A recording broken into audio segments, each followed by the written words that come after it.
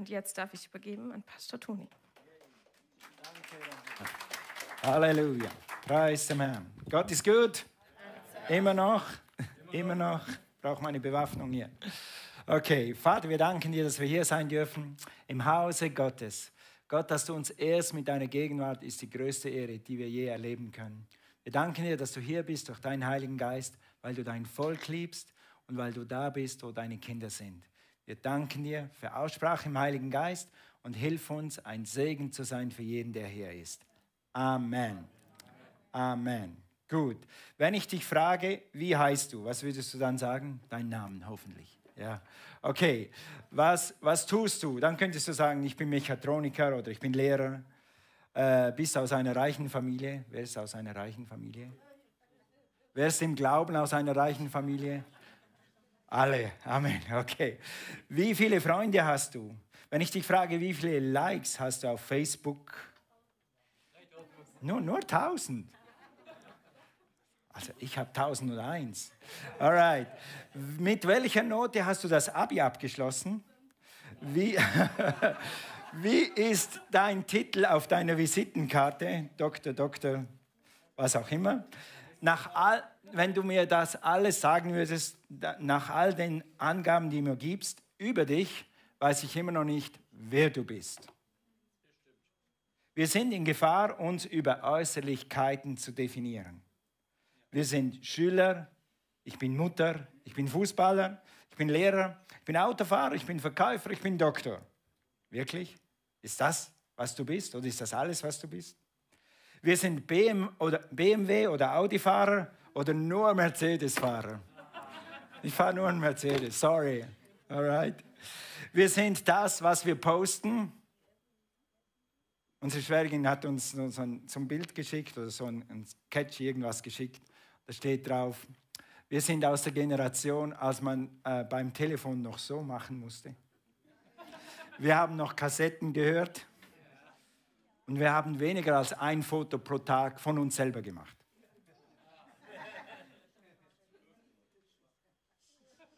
Wer sind wir? Sind wir das, was wir posten? Sind wir das, was wir jeden Tag fotografieren uns selbst? Sind wir das wirklich? Oder sind das nur vorübergehende Dinge? Oder sind es äußere Wunschvorstellungen? Wer sind wir wirklich? Und wie sehen wir uns? Noch wichtiger, wie, sehen wir, wie sieht uns Gott? Wie sieht uns Gott? Du bist nicht das, was auf der Visitenkarte steht. Du bist auch nicht dein Beruf. Ich habe mein Leben aus irgendwelchen Umständen, die kann ich jetzt nicht erklären, zweimal meinen Job verloren. Zweimal. Und dann stehst du auf der Straße und denkst, wer bin ich jetzt? Und das sollte einem Christen nie passieren. Nie. Never, ever. Weil du bist nicht dein Beruf. Und du bist nicht das, was du hast und du bist nicht, was du verdienst, du bist nicht, was du postest. Du bist ein Kind du bist ein König, du bist ein Priester und du bist durch ihn gerettet, erlöst, für die Ewigkeit bestimmt, ein Himmelsbürger. Das bist du. Und in dieser wilden Zeit, wo die Leute an unserer Identität rumschrauben wollen mit Vollgas, ist es wichtig, dass wir wieder wissen, wer wir sind. Und was wir sind in Christus kann dir niemand niemals nehmen. Und wenn du diesen Stand in Christus hast, dann stehst du auch in den nächsten 20 Jahren noch fest. Und deshalb wollen wir heute nochmals unsere Autorität und unser Sein in Christus festigen. Und eigentlich müsste man dafür 30 Predigten verwenden. Ein, wir haben zwei Probleme. Erstens, wir haben nicht so viel Zeit. Und das Zweite ist, ich bin nicht so gut, dass du mir 30 Predigten zuhören würdest über dieses Thema. So gut bin ich einfach nicht. Aber eine schaffen wir vielleicht. Alright? Okay? Also, weil wir sind Kinder Gottes, wir sind erlöst, wir sind gerettet, wir sind Könige, wir sind Sieger, wir sind Überwinder. Fühlst du dich immer als Überwinder? Fühlst du dich immer als Sieger? Fühlst du dich immer? Warum und warum nicht? Und heute wollen wir das ändern. Wir wollen dir ein, einen Vitaminstoß geben, eine Vitaminspritze geben aus Gottes Wort, die dir wieder hilft zu erinnern, wer du bist, damit du wieder gestärkt aus dieser Predigt rausgehen kannst, gestärkt in den Herbst gehen kannst, für die, die noch Urlaub haben, in den Urlaub gehen kannst. Halleluja. Gut, wir sind immer noch an der Serie Regieren, äh, Regieren statt Reagieren, muss man immer aufpassen. Wir haben Autorität, wir haben geerbt, wir sind zum Regieren berufen. Wir haben drei gute Predigten schon gehört. Amen. Und letzte Woche haben wir darüber gesprochen, das können wir einblenden, eins zurück. Äh, erinnere dich daran, wer Gott ist. Erinnere dich daran, wer Gott ist. Erinnere dich daran, wer du bist und erinnere dich daran, wer der Feind ist. Darüber haben wir gesprochen. Mit anderen Worten, Cornelia hat darüber gesprochen, du musst dich positionieren. Und dann hat sie gesagt, sie hat dann drei Worte zum Abschluss benutzt. Du sollst, du sollst reagieren, positionieren und dann proklamieren. Und wir wollen heute über dieses Wort proklamieren ein bisschen näher nachdenken. Und da gebe ich euch Dinge zum Proklamieren, die deine Identität, die das festigt, was du bist, was du bist. Okay, wir reagieren, wenn wir uns positionieren und dann proklamieren. Entschuldigung, wir regieren, ja, danke, danke, danke. Wir regieren, das steht schon richtig da, aber ich bin, okay, wir regieren, wenn wir uns positionieren und dann proklamieren. Jetzt stimmt's, oder? Okay, gut. Also proklamiere, was heißt proklamieren? Ausrufen, also der, der, der Diktionär oder das Lexikon sagt ausrufen, bekannt machen, erklären, verkünden. Was verkündest du? Okay, was verkündest du über dich selbst? Ich bin aus einer armen Familie, ich habe keine Ausbildung, ich kann das nicht, ich kann jenes. Was, was, was, verkündest du über dich selbst? Die Wahrheit ist, und darüber, darüber reden wir heute Morgen, oder ein anderes Wort ist für proklamieren ist bekennen. Und bekennen und verkünden und bekannt machen, die haben alle eins gemeinsam. Du brauchst deinen Mund dazu. Dein Sieg und deine Identität in Christus und wer du bist, hat viel mit dem zu tun, was du sprichst.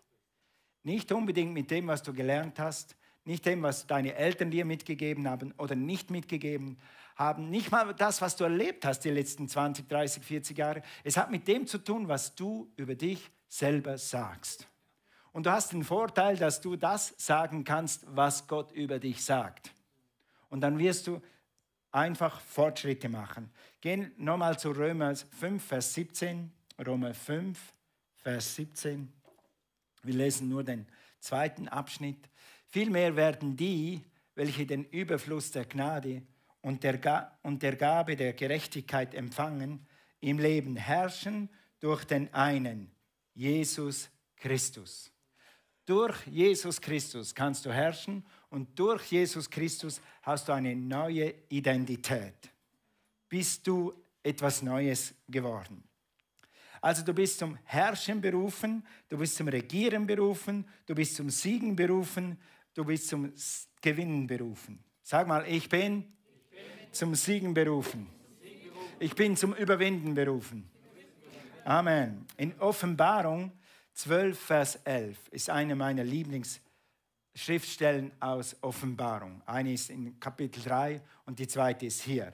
Sie haben ihn besiegt. Wie kann man ihn besiegen? Ich sage gleich, wer ihn ist. Durch das Blut des Lammes und weil sie sich zu dem Lamm bekannt haben.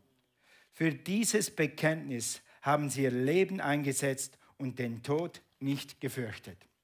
Die Rede ist von den Märtyrern, die gestorben sind, wegen, weil sie Jesus nachgefolgt sind. Und hier heißt es aber, sie haben besiegt, bekannt, Bekenntnis. Sag mal, besiegt. bekannt, Bekenntnis. Wie siegst du? Bekannt und Bekenntnis. Du bekennst dich zu Jesus und du bekennst, wer du in Jesus bist. Okay, der Ankläger der Brüder, wie es in Vers 10 heißt, der Ankläger der Brüder und der Schwestern, der sagt dir immer, was du nicht bist und was du nicht hast und was du nicht kannst und wie du daneben bist und was du verbockt hast und was du hättest schon lange machen müssen und dass du unwürdig bist und dass du kein echter Christ bist und dass dein Gebet nicht erhört wird, das sagt dir der Feind Tag und Nacht. Wie sagt dir das? Negative Gedanken. Und Patsy Kamanetti, eine Lehrerin der Bibel, hat mal gesagt, Wenn du denn der Teufel zu dir spricht in Gedanken, dann sprich zurück, dann antworte ihm mit dem Wort Gottes. Mit dem Wort Gottes. Und darin wollen wir dich heute ein bisschen ermutigen und trainieren. Wir werden siegen durch das Blut des Lammes, steht hier, nämlich durch das, was Jesus am Kreuz schon getan hat. Er hat dich in eine Position, Position, erhoben, in den Stand mit ihm. Du bist ein Erbe und ein Miterbe Christi. Du bist versetzt an himmlische Orte in Christus Jesus. Du kommst aus dieser Position durch das Blut des Lammes. Und anders geht das nicht. Und das Zweite, du siegst durch das Wort deines Zeugnisses, durch das, was aus deinem Mund kommt. Bruder Hegen hat immer gesagt, weil es in der Bibel steht, du bist besiegt durch das, was du sagst, oder du siegst durch das, was du sagst. Die Entscheidung ist deine. Was sagst du? Was sagst du? Okay, als Beispiel können wir dazu nehmen Römer 10, Vers 9. Und wenn du heute das erste Mal hier bist oder wenn du heute online bist, das erste Mal und das erste Mal hörst und diese Botschaft das erste Mal hörst, dann hör jetzt gut zu. Das ist eigentlich der Grundvers, wie man zu Gott kommt wie man eine Beziehung zu Gott kriegt und wie man in die Familie Gottes kommt. Das steht hier in Römer 10, Vers 9.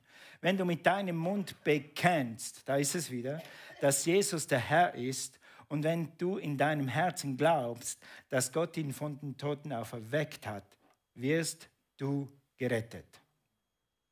Also, wenn du das gemacht hast, was viele von uns schon gemacht haben, dann bist du schon errettet dann bist du schon erkauft, dann bist du schon eine neue Kreatur in Christus Jesus.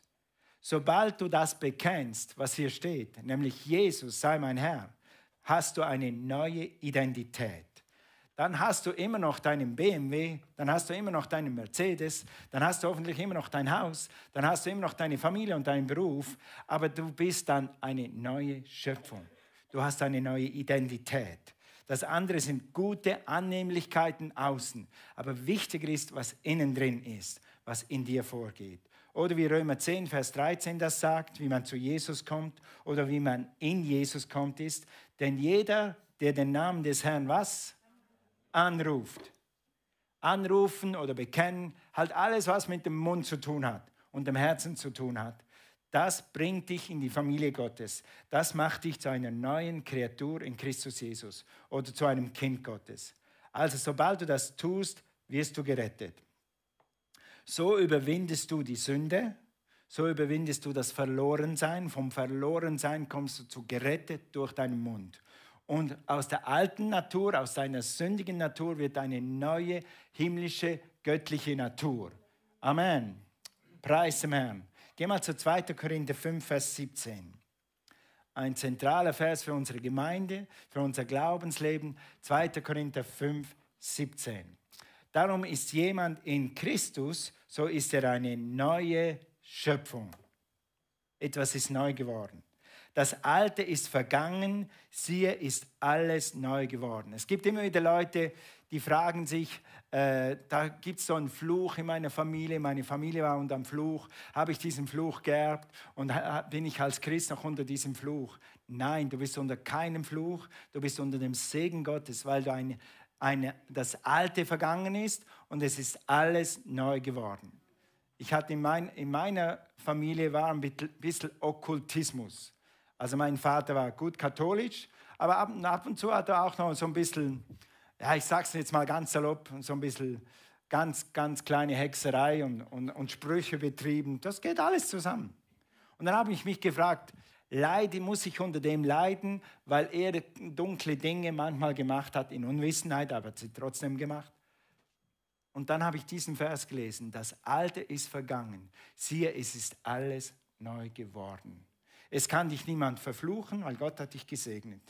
Du hast keinen Fluch mehr geerbt, weil du hast Christus geerbt. Du bist eine neue Spezie, du bist ein neues Wesen. Du bist aus, dem, aus der Macht des Satans errettet und versetzt in das Licht, in das Reich des Sohnes seines Lichts, wie auch immer es heißt in der Bibel. Sag mal Amen. Amen.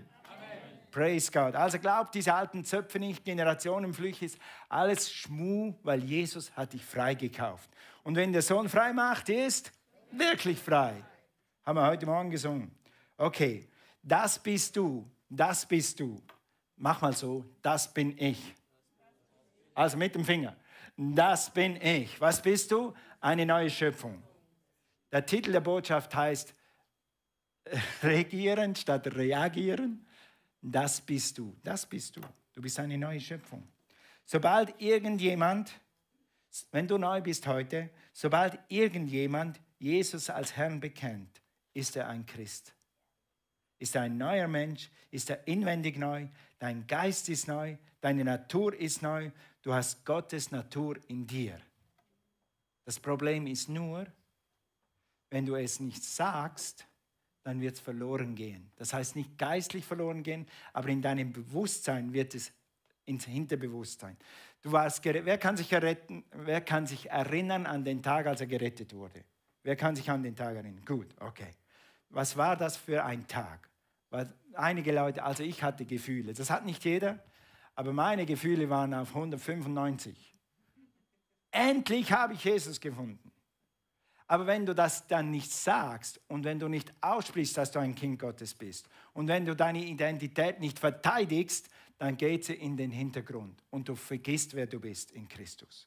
Und deshalb diese Predigt, wir wollen dich erfrischen und ermutigen, äh, deine neue Schöpfung, dein neues Wesen wieder neu zu proklamieren, wieder neu in Empfang zu nehmen, wieder neu zu genießen. Also du hast nicht nur eine, eine Renovierung erhalten, du hast nicht ein geistlich, als du Jesus angenommen hast, als du zu Christus gekommen bist, hast du nicht einfach nur ein geistliches Facelift erhalten. Nein, Gott hat dich ganz neu gemacht. Deshalb keine Sünde, keine alte Natur, keine Flüche, keine Generationenflüche, die sind alle abgeschnitten am Tag deiner Errettung. Sag mal Amen. Amen. Halleluja. Preis dem Herrn. Deshalb halte am Bekenntnis fest, sagt die Bibel. Deshalb lasst uns am Bekenntnis festhalten. Dann fängt das Leben, das in dir ist, an rauszukommen. Die Liebe, die in dir ist, kommt raus, wenn du das bekennst, was du bist in Christus. Das Gedankengut Gottes, das schon in dir ist, in deinem Geist ist, kommt raus aus dir. Es kommt an die Oberfläche. Du wirst, du wirst dich verändern in dem Maße, in dem du das bekennst und das publik machst, was du innerlich bist, nicht was du äußerlich bist. So wird der innere Mensch immer mehr dominant und der innere Mensch wird regieren über dein Äußeren, über dein Fleisch. Übrigens funktioniert Heilung so. Heilung ist geistlich, empfangen es ist in dir drin und wenn du es bekennst, kommt es raus. Und je mehr es rauskommt, je mehr du es aussprichst, umso stärker wird es. Ob du es siehst oder nicht. Glaube es, weil das Wort lehrt das. So wirst du das überfließende Leben immer mehr erleben, wenn du es, wenn du es aussprichst, wer du bist in Christus. In dir ist es schon, durch das Bekenntnis kommt es an die Oberfläche. Wird es Realität? Wirst du dich so verhalten wie ein Königskind? Wenn du dich vielleicht nicht so verhältst wie ein Königskind oder wie ein Sieger oder wie ein Überwinder, dann kann es daran liegen, dass du es nicht bekennst oder dass du es nicht sagst oder dass du das Bewusstsein verloren hast, wer du wirklich bist. Für meine Verhältnisse, äh, wenn ich anfange zu bekennen, wer ich bin, dass ich ein Kind Gottes bin, dass ich ein, ein, ein, ein Überwinder bin, das, dazu kommen wir noch, was wir alles sagen können, dann merke ich, dass ich langsam aber sicher den Sieg über meinen Computer gewinne. Und über die Dinge, die er nicht so macht, wie ich das gerne hätte. Ich bin noch am Bekennen. Ich habe, kriege langsam den Sieg. Cornelia, hilf mir. Yes, Amen. Was, was Gott für mich getan hat, ist, als ich Jesus das erste Mal bekannt habe, war ich sofort frei von Jähzorn. Ich war jähzornig früher. Da bin ich sofort frei geworden. Einige von euch müssen diese Dinge mal eine Weile bekennen. Ihr müsst mal eine Weile bekennen, ich bin mehr als ein Überwinder. Wenn dich diese Laune ankommt, dann sagst du, nein, dahin gehe ich heute nicht. Ich bin mehr als ein Überwinder. Die Freude am Herrn ist meine Kraft. Ich werde heute keine schlechte Laune haben. Das wird ein guter Tag. Ich bin mehr als ein Überwinder. Die Freude am Herrn ist meine Kraft. Ich bin ein Kind Gottes. Die Liebe und die Gnade Gottes wirkt in mir, auf mir, durch mich. Ich bin ein riesiger Segen für meine ganze Familie. Sag mal Amen. Amen. Halleluja. Das habt ihr verstanden. Also, wenn du das bekennst, was Jesus für dich ist und in dir ist, dann wirst du, immer, wirst du merken, dass du immer mehr den Sieg gewinnst über Jähzorn, schlechte Laune, über Süchte, über schlechte Haltung, über Zweifel, über Anklage, über Selbstanklage. Komm, mach mal einen Test. Wir haben etwas installiert. Und äh, ich sage dann Leni, er soll das einschalten. Und sobald dieses, dieses Strom fließt hier heute Morgen, leuchten alle grün auf, die noch Selbstanklage haben. Start.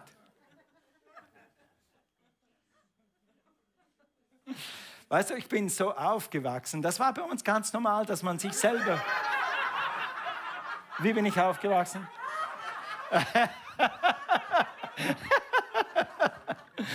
super. Ja, gutes Licht, Licht, ein gutes Lichtteam ist super. Könnt ihr rot auch? Ich habe nämlich überlegt, was ich sagen soll. Ich bin so aufgewachsen, bei uns war ganz normal, dass wenn etwas schief geht am Traktor oder bei den Schafen oder bei den Hühnern, was auch immer, dass man sagt, Dummy. Ich, kann, ich will das nicht mehr weit ausschmücken. Und so bin ich aufgewachsen als Kind. Ich habe 12, 15 Jahre habe ich diese Flüche fast jeden Tag über mich ausgesprochen. Aber weißt du was? Jesus hat mich freigesetzt. Und Jesus wird dich freisetzen. Bekenne das, was Gott über dich sagt, und du wirst frei werden. Und wenn der Sohn frei macht, der ist echt frei. Halleluja. Wenn Gott, denn nämlich Gott sieht dich nicht als jähzornig, Gott sieht dich, sieht dich nicht mit schlechter Laune, Gott sieht dich nicht mit der schlechten Haltung, Gott sieht dein Inneres. Du bist ein Überwinder, du bist ein Sieger, du bist eine neue Schöpfung, du hast Gottes Natur und Gottes gute Laune in dir. Und wenn du das aussprichst, Halleluja, jetzt bin ich fast von der Bühne gefallen, Halleluja, dann wirst du das überwinden können. Du kannst alles überwunden durch Jesus Christus. Sag mal, ich bin mehr, mehr als ein Überwinder. Durch Christus. Also, durch Christus, wenn du anfängst, diese Dinge auszusprechen, dann wirst du immer merken, mehr merken, wer du wirklich bist, wer du in Christus bist und auch was dir gehört. Lass uns mal ein Vers lesen, was dir gehört. Geh mal zu Römer 8, äh, Vers 17. Stimmt das? Jetzt bin ich unsicher. Okay, ich habe da aufgedruckt wenn jemand den richtigen Vers oder wenn es nicht stimmt, sag es einfach. Also, wenn wir aber Kinder sind, so sind wir auch Erben, nämlich Erben Gottes. Erben, das musst du dir auf der Zunge zergehen lassen. Du bist ein Erbe Gottes. Du hast alles, was Gott hat, hast du geerbt. Und Miterben des Christus. Wenn wir wirklich mit ihm leiden, damit wir auch mit ihm verherrlicht werden. Gut, dieses Leben, ich kann dir nicht garantieren, dass die nächsten 60 Jahre für Christen so leicht werden wie die letzten 60. Ich weiß es nicht. Ich kann es dir einfach nicht garantieren. Aber es kann sein, dass wir auch mal leiden werden für Christus. Aber eins ist sicher, wir, haben, wir sind Gottes Erben und wir sind Miterben Christi. Das heißt, alles, was Christus ist, hast du geerbt durch Christus. Amen. Es gibt über 150 Bibelstellen, über 150 Bibelstellen, wo es heißt, wer du bist in Christus, was du hast in Christus, was du kannst in Christus. Wenn du schnell wachsen willst, empfehle ich dir eins. Geh durch die Bibel oder nimm, nimm halt einen Suchlauf und suche alle Bibelstellen, wo steht in ihm oder durch ihn oder in Christus. Nimm diese raus, schreib sie auf und proklamiere sie jeden Tag. Oder lies sie mindestens ab und zu durch. Und das wird dein geistliches Leben verändern. Total. Es wird dein geistliches Leben verändern. Du wirst stärker werden, du wirst mehr Glauben haben und du wirst dich sicherer und schneller als Überwinder fühlen und als Sieger fühlen. Als Hilfe, wir haben draußen eine Glaubenshilfe, da sind viele Bibelstunden aufgeschrieben und schon als Bekenntnisse. Das gratis, kannst du mitnehmen. Wenn du zu Hause bist, schreibe uns, wir schicken dir eins nach Hause. Dieses Buch gibt es da draußen nicht, aber das kannst du vielleicht im Internet bestellen. Das heißt In ihm von Kenneth E. Hagen. Kostet 1,80 Euro. Das ist alles drin, was du zu dieser Predigt brauchst. Und alle Bibelstellen sind aufgelistet, wo das steht, in ihm. Nimm das, bestell dir das, lies das verschlinge es, verdaue es, zerkaue es, bis es Realität ist in dir. Es wird dein Leben verändern. Es gibt so einen Volksspruch. Nichts Gutes, außer man tut es. Äh, die biblische Version, Jakobus 1, Vers 22. Die Täter des Wortes sind gesegnet. Die Täter des Wortes werden sich verändern. Die anderen bleiben, wie sie sind. Sag mal, ouch. Okay, okay, okay. Also, in Apostelgeschichte 27, Vers 28, ich gebe euch jetzt drei, vier Beispiele noch zum Abschluss. Die anderen müsst ihr euch selber daraus lesen oder aus der Bibel herauslesen. In der Apostelgeschichte 17, Vers 28. Als ich frisch zum Glauben gekommen bin, gab es eine, eine Schallplatte. Wer weiß, was eine Schallplatte ist? Jetzt weiß ich, wie alt du bist. Eine Schallplatte. Und da war so ein Lied drauf, denn in ihm leben und weben und sind wir. Und das habe ich jahrelang gesungen, jahrelang. Denn in Christus lebe und webe und bin ich. Und ich habe so gespürt, wie Gott mich umgibt und wie Gott in mir ist und wie Christus in mir ist und wie ich jetzt gerettet bin und wie ich jetzt nicht mehr suchen muss, wer ich bin und zu was ich auf der Welt bin. Ich bin in Christus. In ihm lebe ich, für ihn lebe ich, durch ihn habe ich alles, mit ihm gehe ich. Das war so eine Offenbarung für mich. Und ich habe gebetet, dass du die gleiche Offenbarung kriegst, wenn du diese Worte aussprichst. Denn in ihm leben, handeln und sind wir wie einer eurer eigenen Dichter gesagt hat, wir sind seine Nachkommen.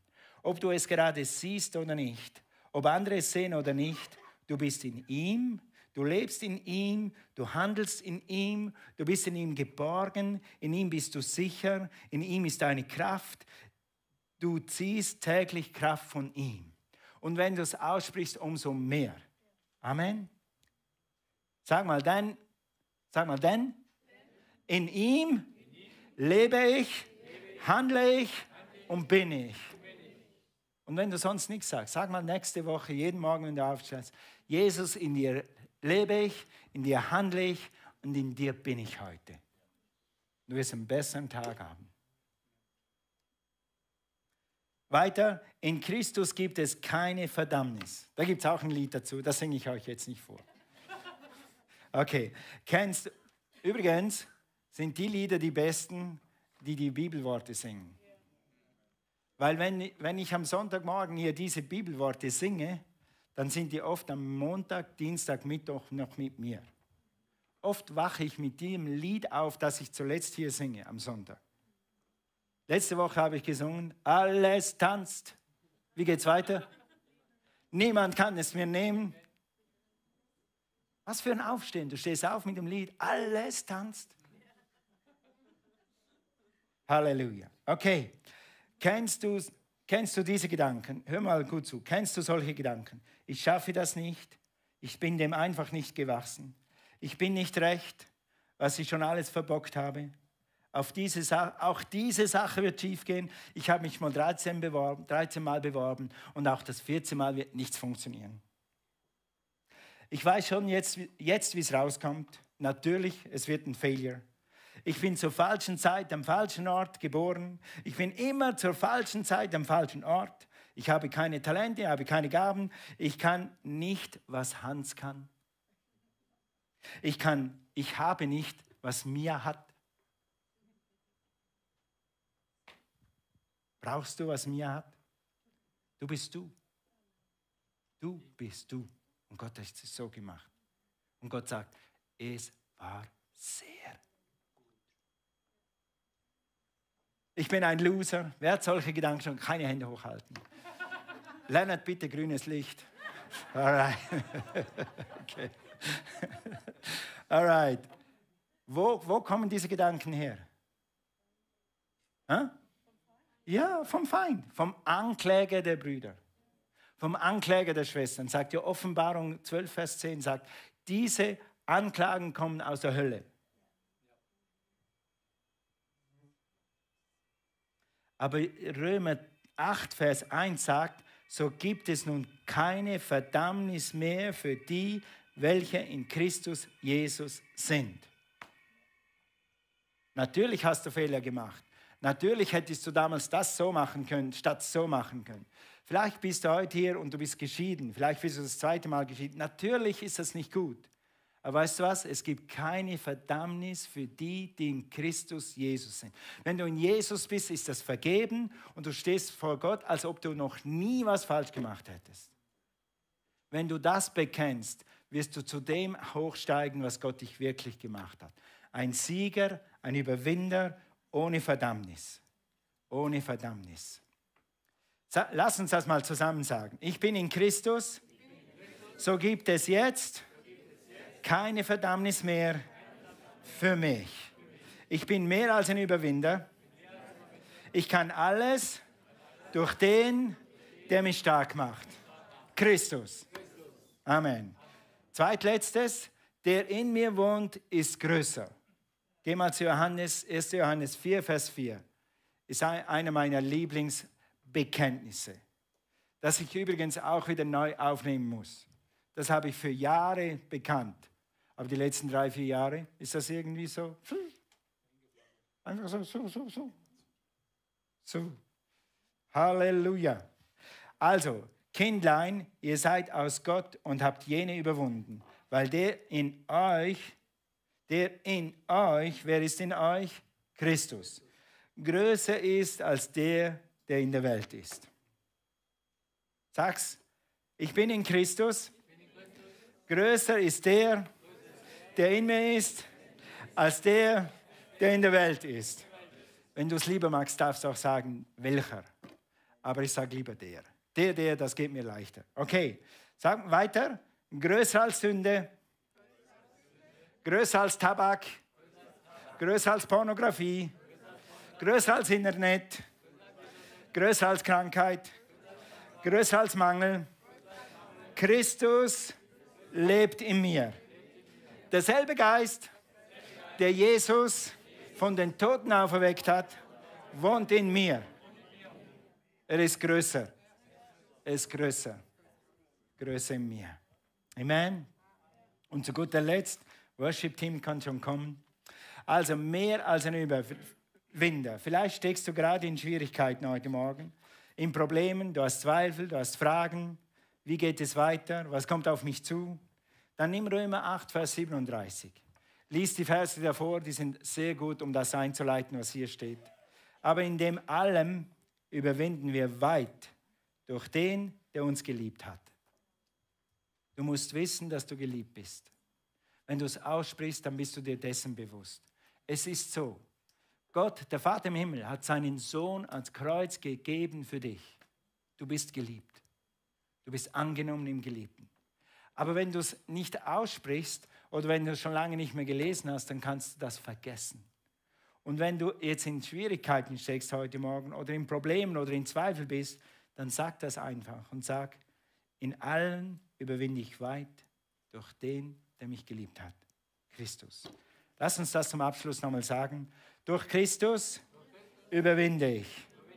Ich bin mehr als ein Überwinder durch Jesus Christus. Er liebt mich. Ich bin angenommen in dem Geliebten. Wenn Jesus für mich, für mich ist, wer kann gegen mich sein? Okay, den letzte noch mal ein bisschen stärker, alle. Wenn Jesus für mich ist, wer kann gegen mich sein? Amen. Lass uns aufstehen. Halleluja. Lass uns aufstehen. Preis dem Herrn. Danke, Jesus. Wenn wir anfangen, das zu sagen, was Gott über uns sagt, nicht was deine Schulnoten über dich sagen, was deine Lehrer über dich sagen, was deine Schwester über dich sagt, was da, nicht mal was dein Pastor über dich sagt. Sag das, was Gott über dich sagt, und du wirst zu dem hochklettern, was du Gott, wofür du geschaffen bist, was Gott aus dir gemacht hat was Gott in dich gelegt hat, wenn du das sagst. Wenn wir anfangen, das zu bekennen, was Gott über Gottes Wort über uns sagt, werden wir die Kraft erfahren, die Christus ist. Werden wir das, das, sein, das sein, was Jesus uns gemacht hat. Werden wir als Sieger durch dieses Leben gehen, egal was diese Welt um uns herum macht. He always causes us to triumph in Christ Jesus. Er bringt uns immer wieder zum Sieg durch Jesus Christus. Amen. Halleluja. Lass uns kurz beten. Vater, ich danke dir, dass du uns zu dem gemacht hast, was hier in deinem Wort steht. Zu Überwindern, zu Siegern, zu Erben Christi. Danke für diese wunderbare, wunderbare, wunderbare Wahrheit. Ich bete jetzt für die ganze Gemeinde, für jeden, der hier ist, für jeden, der heute Morgen zugehört hat oder in den nächsten Tagen hört, dass dieses Bewusstsein wieder neu in uns hochkommt, was du für uns am Kreuz getan hast, was wir sind in dir, was wir wirklich sind, wer wir wirklich sind und was wir haben. Danke, Herr, dass uns das zu Siegern macht, zu Botschaftern macht, zu freudigen Überwindern macht durch deine Kraft. Halleluja. Amen. Praise God. Gut, gib mir noch drei Minuten für das Wichtigste heute Morgen. Wenn du heute Morgen hier bist und du sagst, Pastor, ich habe deine Predigt gehört, ich habe noch nicht mal ganz verstanden, was es heißt, in ihm zu sein. Noch weniger, was es heißt, zu regieren durch Jesus Christus, weil ich kenne Jesus nicht. Ich kenne Gott noch nicht persönlich. Dann kannst du das heute Morgen tun. Wir haben dir heute Morgen schon vorgelesen, jeder, der den Namen des Herrn anruft, wird gerettet. Jesus ist für die ganze Welt gestorben. Egal wer du bist, egal ob du studiert hast, nicht studiert hast, welche Hautfarbe du hast, ob du aus Bayern kommst oder aus Württemberg oder aus der Schweiz wie ich, Jesus ist für jeden gestorben. Und Jesus ist für dich auferstanden. Wenn du seinen Namen anrufst, dann wirst du heute Morgen ein Kind Gottes werden. Ich will dich heute Morgen fragen, bist du schon ein Kind Gottes? Wenn nicht, willst du ein Kind Gottes werden heute Morgen? Willst du eine neue Schöpfung werden? Willst du in Christus kommen? Wenn das so ist, dann halt mal kurz deine Hand hoch. Alle Augen geschlossen. Alle Augen geschlossen. Nur ich schaue alle Augen geschlossen. Ist jemand hier und du sagst, ja, ich bin noch kein Kind Gottes und ich möchte heute Morgen ein Kind Gottes werden. Halt mal kurz deine Hand hoch, ganz kurz, damit ich für dich beten kann. Praise the Lord. Ist jemand hier? Halleluja. Thank you, Jesus. Praise God. Ich schaue noch einmal. Halleluja. Sei mutig, sei mutig, wenn du heute hier bist und du bist noch nicht gerettet. Heute ist der Tag des Heils. Heute ist der Tag der Rettung für dich. Gott hat dich heute Morgen hierher gebracht, zum Livestream gebracht, damit du sein Leben empfangen kannst. Ist jemand hier? Okay. Gemeinde, lass uns einfach zusammen beten.